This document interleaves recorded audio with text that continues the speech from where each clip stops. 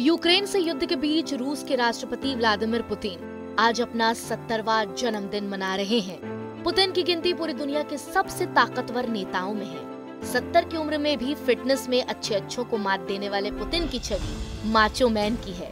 जो कभी शिकार पर निकल जाता है तो कभी घोड़े की सवारी या बर्फीले पानी की नहाने की तस्वीर तो पूरी दुनिया ने देखी है। लेकिन यूक्रेन पर हमले के बाद दुनिया भर के कई देशों की आलोचना का सामना कर रहे पुतिन कैसे एक निरंकुश शासक बनते चले गए और कैसे ही देखते देखते वो दुनिया से कटते चले गए। इन सब के बारे में जानना दिलचस्प होगा। ये सब अचानक नहीं हुआ। पुतिन में करो या मरो वाले व्यवहार का उपजना एक लंबी कहानी है। आज इस वीडियो में हम पुतिन की ज़िंदगी से जुड़े कुछ ऐसे ही रोचक किस्सों के बारे में जानेंगे।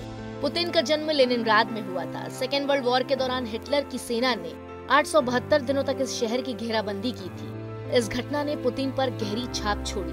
उनके एक स्कूल फ्रेंड बताते हैं कि पुतिन स्कूल टाइम से ही काफ़ी अग्रेसिव हुआ करते थे। वो किसी से भी लड़ जाते थे। यहाँ तक कि उन्हें किसी का खौफ नहीं रहता था। उनके गली मोहल्लों में कई गैंग्स थे। उन्होंने सेम्बो नाम की रूसी मार्शल आर्ट की ट्रेनिंग ली। इसके बाद उन्होंने जूडो भी सीखा। जब वो 18 साल के हुए तो उन्हें जूडो में ब्लैक बेल्ट मिल गया।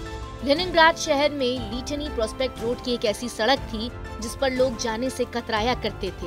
वो इसलिए क्योंकि इस रोड पर सोवियत खुफिया एजेंसी के का हेडक्वार्टर था।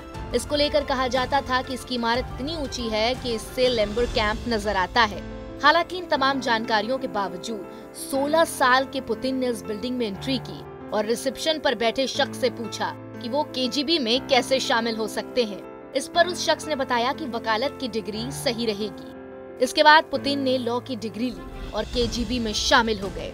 के में शामिल होने के बाद पुतिन को सुरक्षा और तरक्की दोनों ही चीज़ें मिली। 1989 नवंबर में पूर्वी जर्मनी की सरकार गिरने को आ गई। उसी साल दिसंबर में एक भीड़ ने के की इमारत को चौतरफा घेर लिया। पुतिन ने मदद के लिए सोवियत सेना के नजदीकी ठिकाने पर फ़ोन लगाया, लेकिन उन्हें कोई जवाब नहीं मिला।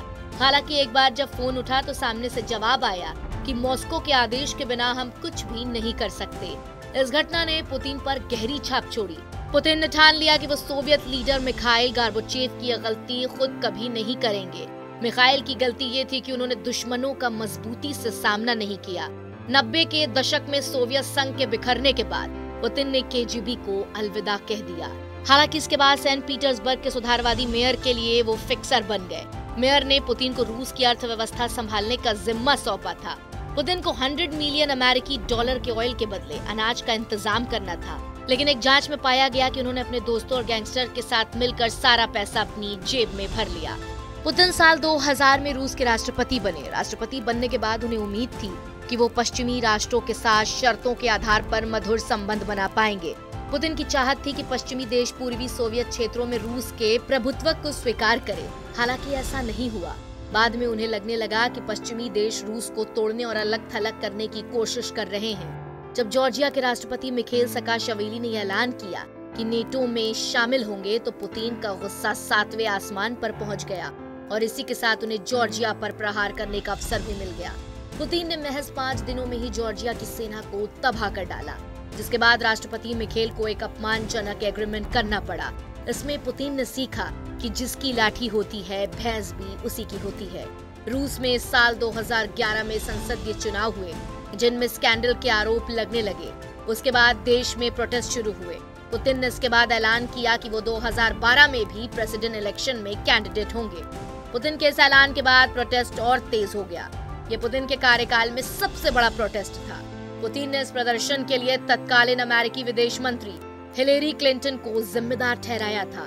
इससे पुतिन को यह समझ आ गया कि पश्चिमी देश उसके खिलाफ खड़े हो उठे हैं। तो ये थे पुतिन के कुछ अनचाहे राज। फ़िलहाल इस वीडियो में इतना ही। आपको हमारा ये वीडियो कैसा लगा, हमें कमेंट सेक्शन में लिखकर ज़रूर बताएँ। और ऐसे ही तमाम अहम जानकारियों के लिए सब्सक्राइब करें टीवी नाइन डिजिटल।